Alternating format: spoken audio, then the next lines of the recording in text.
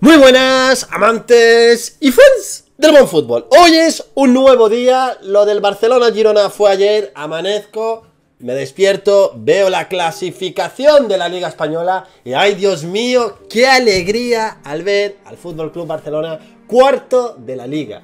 Cuarto por detrás del Atlético Madrid con un partido menos. El Real Madrid segundo, que ojo, estos se están riendo muchísimo cuando no van ni líderes, porque líder en solitario va el Girona. Pero oye, oye, que, no somos antis, que no somos pericos, ni somos roselistas, ni somos no sé qué mierdas que quieren inventar, catalogar aquí al culé, al aficionado del Barcelona, porque no le gusta un entrenador o porque dé una opinión que no guste a muchos otros que defienden lo indefendible. Pues oye, mira, según ellos, yo me tengo que alegrar, tengo que celebrar, viva la vida, viva esta maravilla de Fútbol Club Barcelona. Pero ¿qué me estáis contando?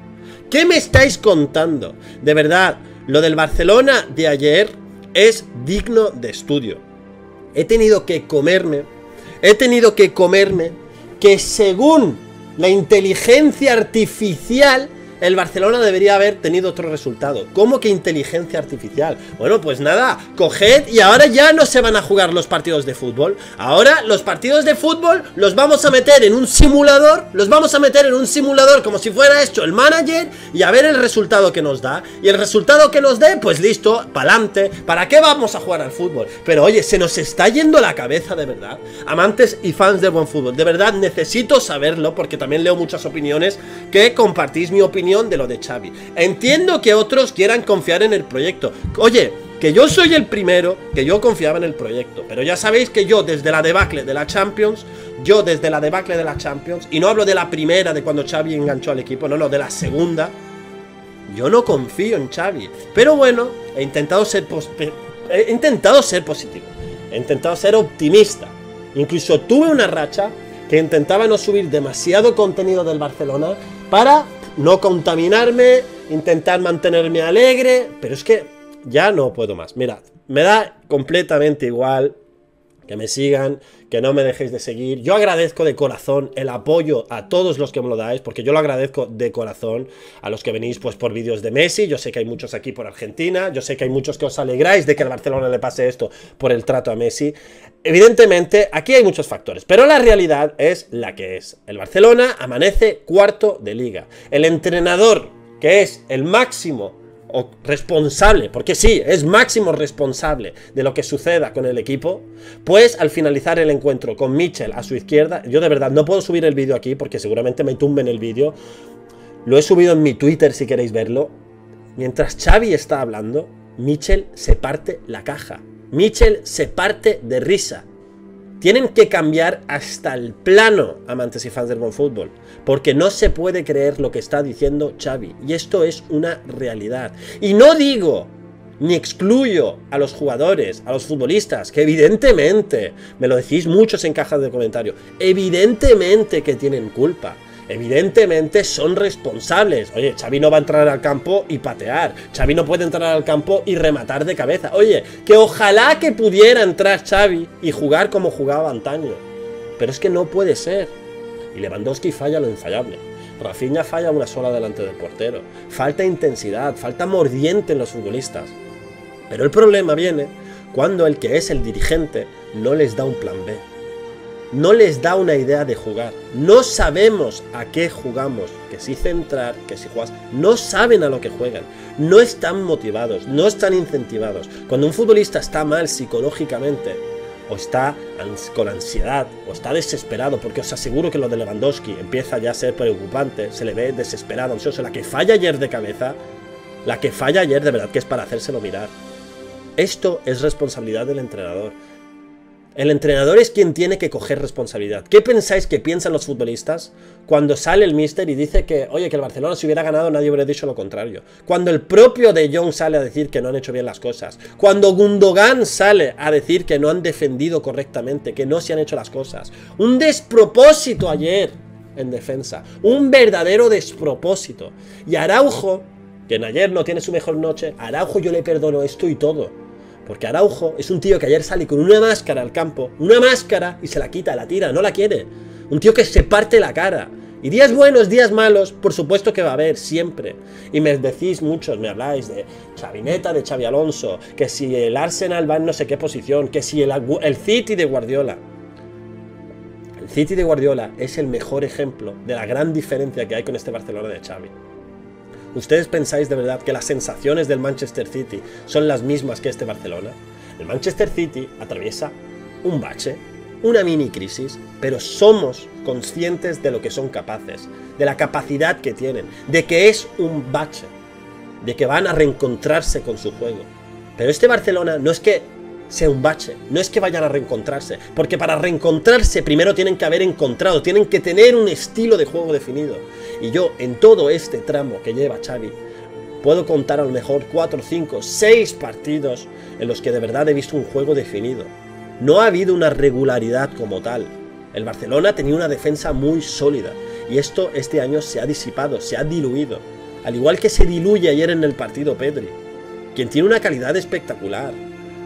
Estoy harto de ver a los futbolistas fuera de posición. ¿Alguien me explica qué hace ayer con Christensen con Valde? ¿Qué es ese invento?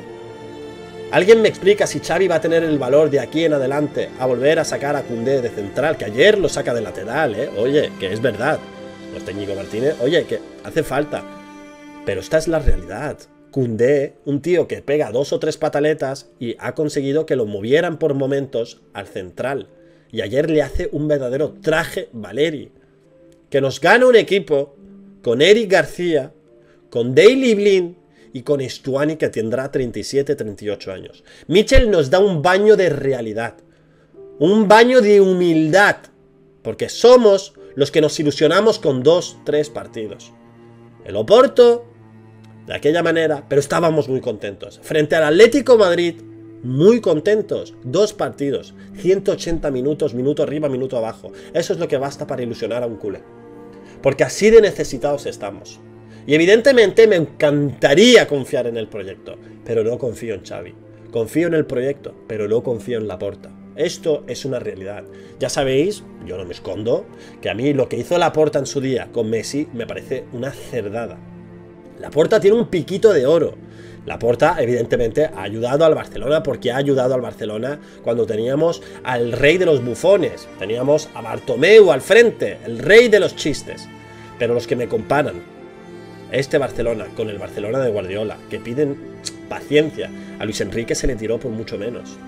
Xavi se le ponen portadas de no se toca. ¿Por qué? Porque es de la Masía. Es producto del Barcelona. Es catalán. Y esto yo creo que es lo que más rechazo me produce de este Barcelona. Que un futbolista, por ser una leyenda, tenga esta protección. Esto es una protección que no es justa.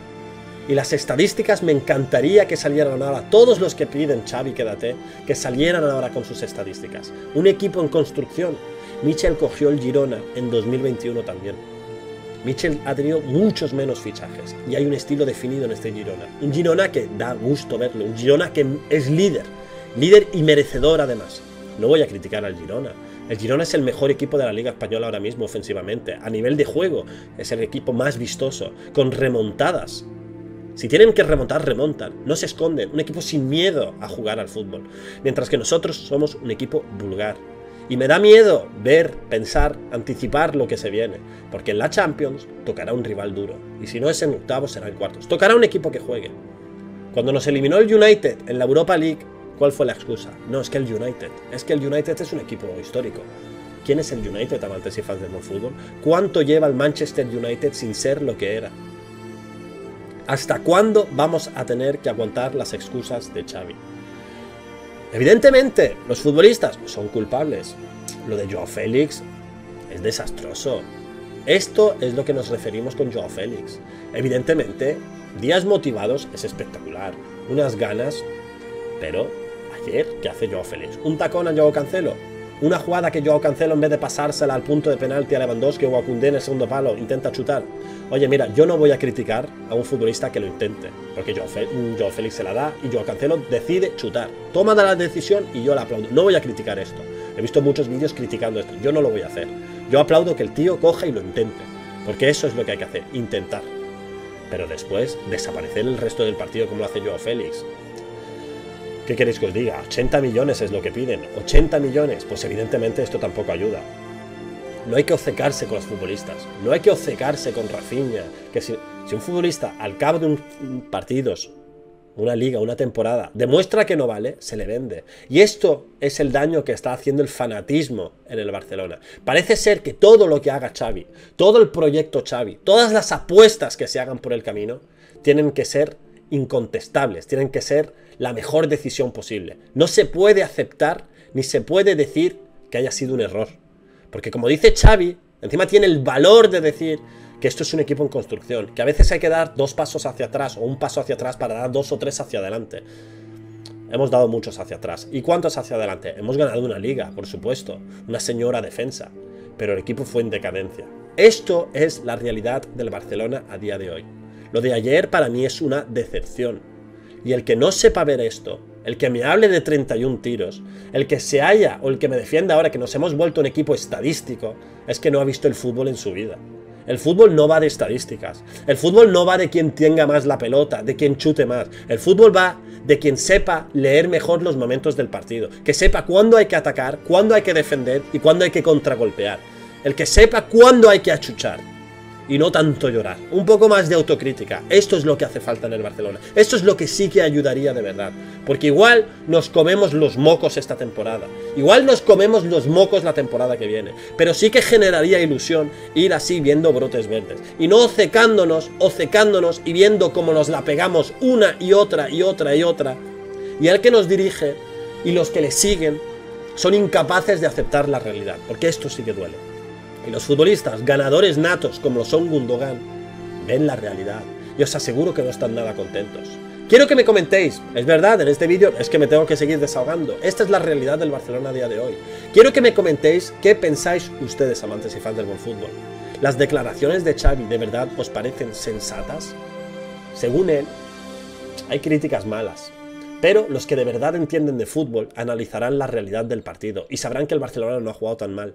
Oye, pues si es que en tu casa te metan 2-4, habiéndote podido marcar 5, 6, evidentemente, yo que queréis que os diga, no seré un profesional del fútbol, no seré Maldini, pero para mí nos dieron un baño, un baño de humildad, de realidad, y eso es lo que le hace falta a Xavi, agachar la cabeza y aceptar la realidad. Hasta la próxima.